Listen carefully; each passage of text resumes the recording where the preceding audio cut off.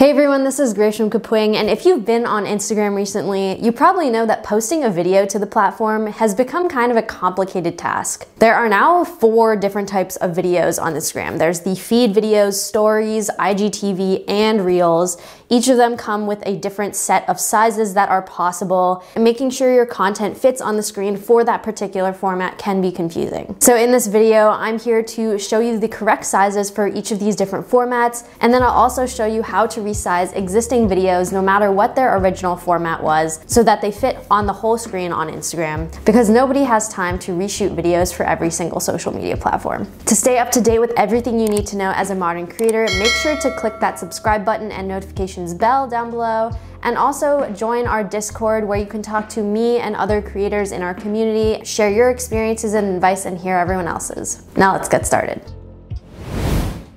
So to resize a video for Instagram to fit the whole video, we're gonna be using Kapwing, which is a completely online editor. You can click the first link in the description below at the top of the description to get there. And this works on your computer or your phone. Now, once you get here, the first thing you'll want to do is upload the video that you want to resize. So you can either click to upload from your files or even just paste a link to a video that's already on the internet, for example, on TikTok or YouTube or somewhere else. Now, the main task we're trying to do here is resize this video which means you'll need to know what the sizes for Instagram are. And because Instagram likes to keep things complicated with video, these are the sizes that currently work for videos in 2021. On your profile page, they all show up as a square. So the thumbnail of the video will be a square, so keep that in mind but in the feed they show up in these sizes. Now the best size for a feed video is actually 4 by 5 because that will allow you to take up the most space in the feed. For example, this is how th these three different sizes show up in the feed. This one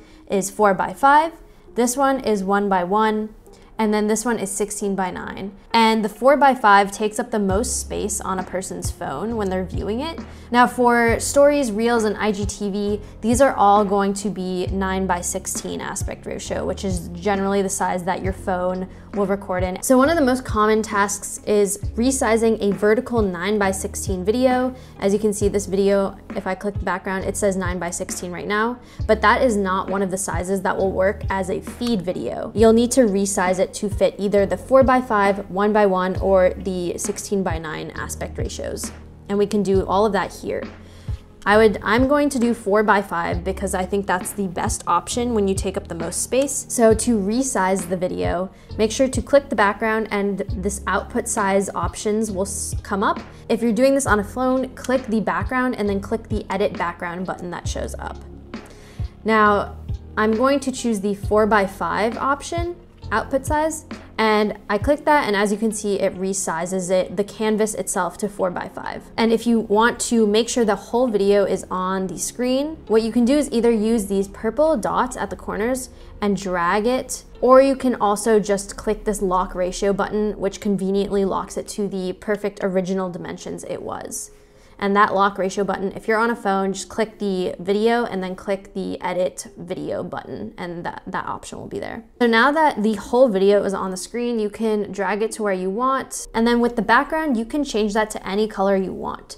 So right now it's white, which will probably blend in with a lot of um, Instagram users' feeds, but if you want to change it to a different color, you can do so on the side here. We have custom, uh, you can type in a custom hex code or choose from this palette. We even have this eyedropper tool that allows you to drag over colors in the video and then click one and it'll change the background to that exact color. Now once you are happy with the sizing, you have a bunch of other options in the top bar here. For example, text, you can search for images straight from Google right in here and just click one and it'll input it into the project. You can also add or record audio by uploading a file or pasting a link or recording.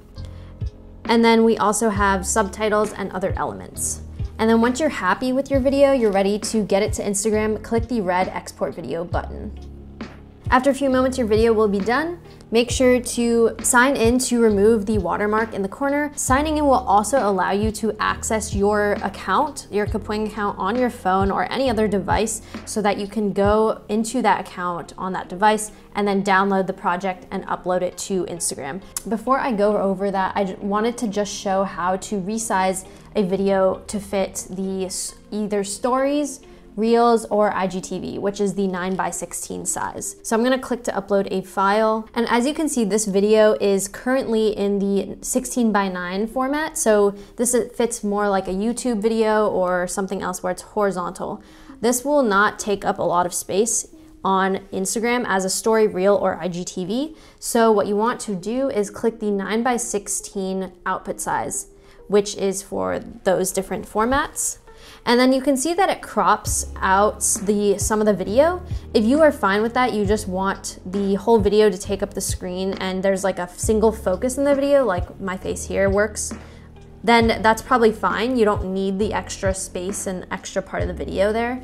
If you do want to adjust where, which part of the video it's centered on here, you can click the video and click and then click the 9 by 16 box and then move it around. Now one thing to take note of is that other parts of your video might be cropped. For example, this is a picture that the sides are cropped. So to fit the whole video on the screen in this 9 by 16 format, you can click the lock ratio button again and it will resize it down back to the original horizontal format, but on the 9 by 16 canvas. Now you can also just drag out to get something in the middle where you do have these, you have the center focus, but you have more of the video inside the canvas as opposed to before. And then of course in this, the borders, you can change the background color again using the options on the side here. And these borders, even though they might look annoying, they are actually really great spaces for adding other things like text and images and subtitles. So I just went in and added subtitles automatically using our auto subtitler. In the click of a button, it'll create all these subtitles for your whole video.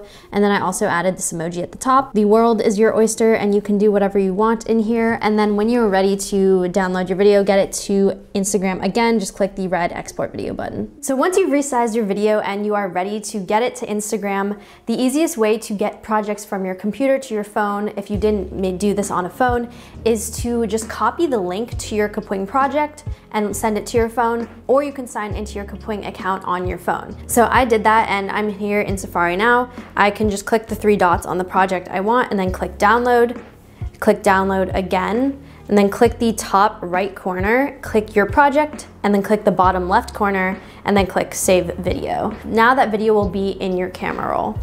Then go to Instagram, and if you're going to post a feed video, click the plus in the top right corner, and then click your project. So this is the 4x5 sized video that I resized first in this video, and here's the important step. Make sure to click that little icon with the two arrows in the corner and that will make sure that it resizes to the 4x5 and has the whole picture in the frame.